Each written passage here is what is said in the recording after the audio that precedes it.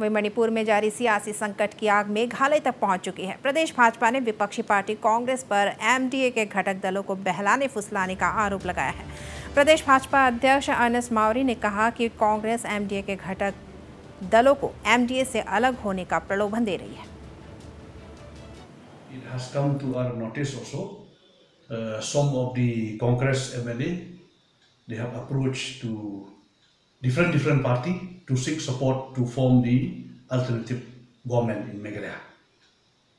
So, like you know, we are the uh, partner in this uh, government in MTA. Two MLA support the government, and uh, we always uh, respect our uh, national leader. If anything will come to change or anything will come, uh, we have to take the clearance from our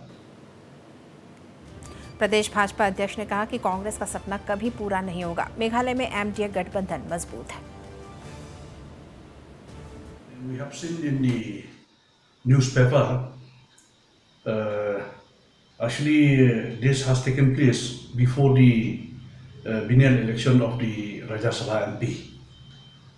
Uh, but uh, what is happening in Manipur, I don't think that it will be affected here. What is my perception I have seen till the uh, election of the Rajya, Rajya MP, it has been complete successful with all the partner in the MDA. So I don't think that uh, there will be any political turmoil will take place in Meghalaya. बता दें कि मेघालय में विपक्ष में बैठी कांग्रेस दावा कर रही है कि एनपीपी ने पार्टी से संपर्क साधा था। वहीं एनपीपी ने कांग्रेस के इस दावे को खारिज कर दिया है।